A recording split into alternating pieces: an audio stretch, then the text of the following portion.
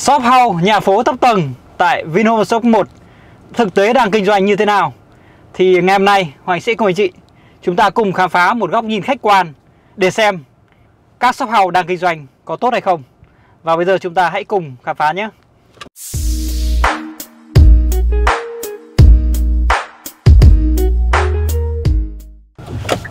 Và đầu tiên chúng ta sẽ khám phá cái dãy shop house thương mại dịch vụ biển Hồ 9A. À, hiện nay thì dãy này đầu đó sẽ có một này, hai nhà này. Có The Leader này, Fitness and Yoga này. Hai trường uh, mầm non Tân Thời Đại này. Đâu đó khoảng độ 4 4 shop house khai thác. Và anh chị các bạn có biết điểm đặc biệt ở khu biển Hồ Chí Na này là gì không ạ? Có một idol TikTok rất là nổi tiếng ở trên mạng xã hội. Đó chính là Huấn Hoa Hồng. Và nhà idol cũng đã ở gần đây nhất anh chị ạ. Ở dãy biển Hồ Chí Na này. Đó, ở bên trái đó, bên trái đó là con trâu vàng đấy. Do nhà của idol ạ. Như vậy là khu ờ, shop house thương mại dịch vụ biển Hồ Chí Hà này tính tổng cộng đâu đó chưa đến 10 shop đang kinh doanh và khai thác. Phải nói tỷ lệ rất là thấp. Và bây giờ chúng ta sẽ khám phá một trong những trục đường quan trọng nhất của Vinhomes Park 1. Đó chính là đại lộ Ngọc Trai 52m. Một trong những con đường à, lớn nhất và là trục huyết mạch của dự án này. Và cái thời điểm mở bán ấy, thì những căn shop house mặt đại lộ Ngọc Trai này, phải nói là rất rất là hot để mua được những thời điểm đó cũng là một may mắn đấy và có vẻ là các cái shop sổ đỏ lâu dài ở đại lộ Ngọc Trai này đang có tỷ lệ khai thác cao hơn rất là nhiều. Rất nhiều văn phòng bất động sản này, trường mầm non này, ngân hàng này, showroom nội thất này. Tương đối ổn.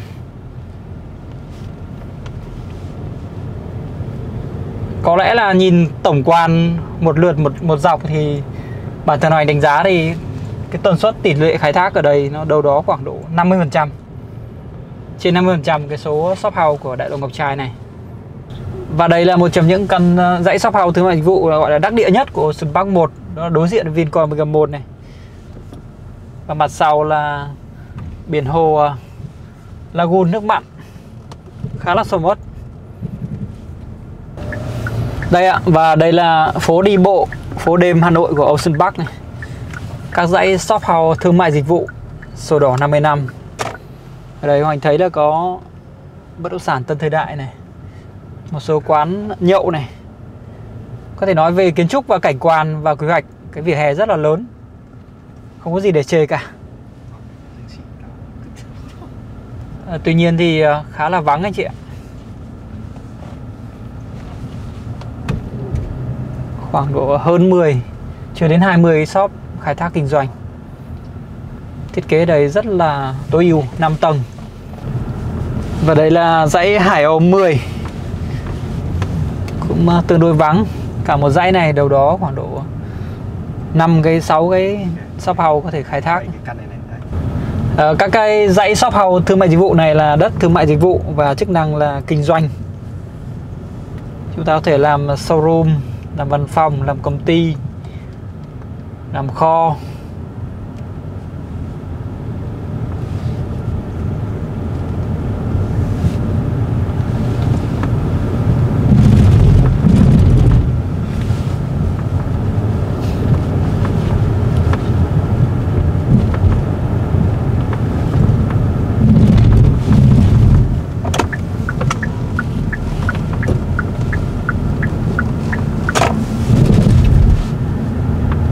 Hải Âu 8B này Hải Âu à, 8A này Hải Âu 9 này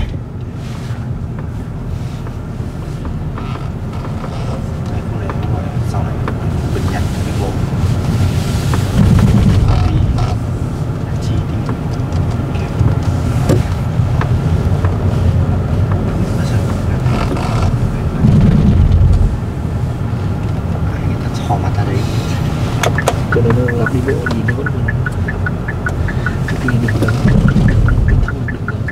thì nó cần Đây là Ờ, dãy Hải Âu 3 à, A3 này. Cây cối cảnh quan lên khá là ok. Đường lớn, vỉa hè lớn. Khoảng sân rất là rộng. Đây có văn phòng công ty nội thất này.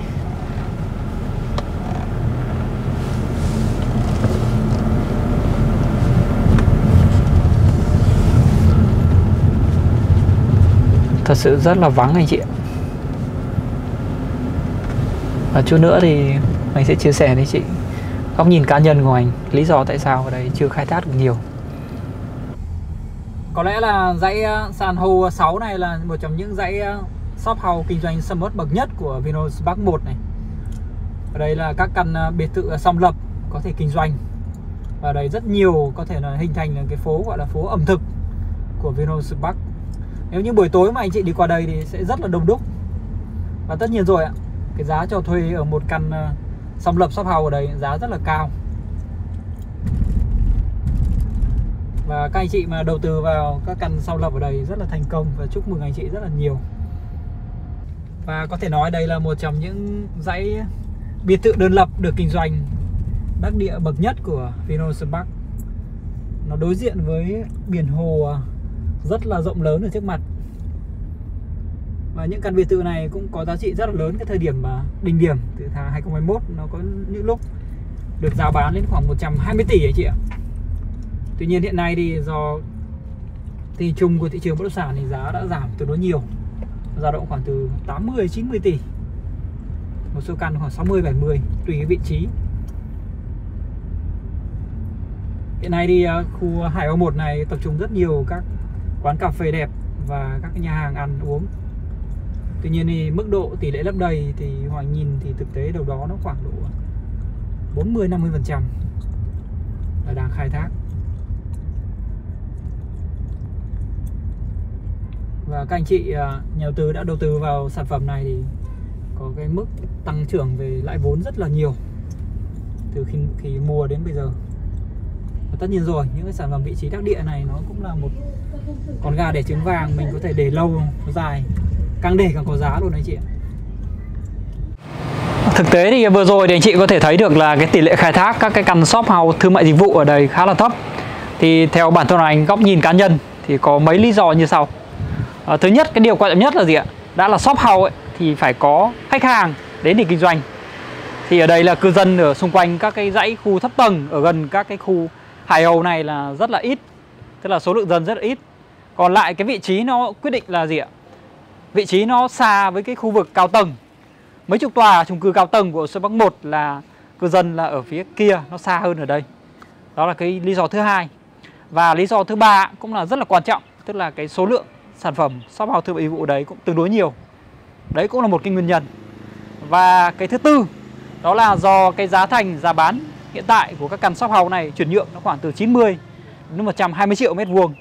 Nên là tổng tiền đầu tư một cái căn shop house đây cũng tương đối lớn và dẫn đến là giá cho thuê cũng cao. Do đó thì rất nhiều à, các cái thương hiệu và các cái hộ kinh doanh là không thể trụ được. Thì theo anh có những cái lý do vừa rồi dẫn đến là tại sao shop thương mại dịch vụ đây là vẫn chưa khai thác tốt. Và tất nhiên chúng ta sẽ phải cần trông chờ vào tương lai vào 3 năm, 5 năm tới khi mà số lượng dân được thu hút hơn và những chính sách để làm sao mà có thể là hút được rất nhiều những nhãn hàng và những công ty về đây. Và với mong muốn là chia sẻ đến anh chị từ những góc nhìn thực tế và khách quan nhất ở các dự án bất động sản. Và hy vọng video này sẽ giúp anh chị có những quyết định đầu tư và kinh doanh chính xác nhất. Và cảm ơn chị đã dành thời gian theo dõi video. Đừng quên like và đăng ký kênh bởi vì Hoàng Anh sẽ đưa đến anh chị nhiều video hay hơn và hữu ích hơn ở lần tiếp theo. Bây giờ xin chào, hẹn lại chị ở những video tiếp theo.